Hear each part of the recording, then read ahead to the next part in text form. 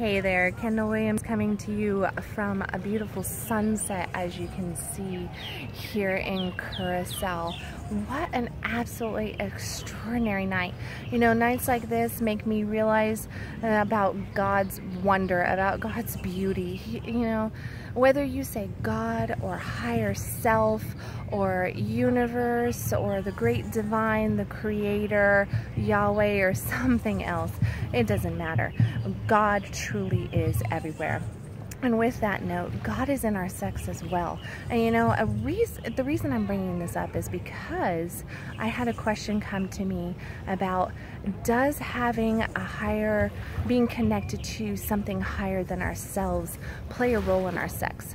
Absolutely. When I talk about touching the big toe of God during an orgasm, that is exactly what I'm talking about. I'm talking about surrendering not only to yourself, not only to your orgasm, but surrendering to God.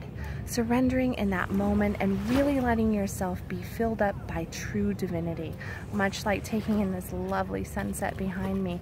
We can do that every single time we sex if we really truly let ourselves surrender. And surrender is the key. Surrender means vulnerability. Being vulnerable with our partners, being vulnerable with ourselves, and yes, being vulnerable with God.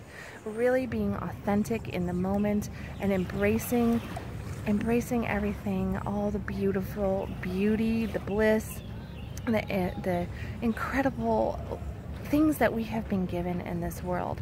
Orgasm being one of the best, of course, but you know, sometimes we, uh, actually, not sometimes, a lot of the time, we tend to not allow that to happen. And please focus on that. We don't allow that to happen, meaning that we don't get out of our heads and into our bodies, which would basically be like me standing here trying to analyze the sunset and break it down scientifically versus just taking in the beauty of the sunset and breathing into it. So the next time that you're having an incredible connective experience and you're wondering why you can't get into your into the sex, into the orgasm, where is that orgasm? Take the expectation off, connect to your divine self, connect to God, open up, surrender. I hope that was helpful. I look forward to hearing more questions from everybody.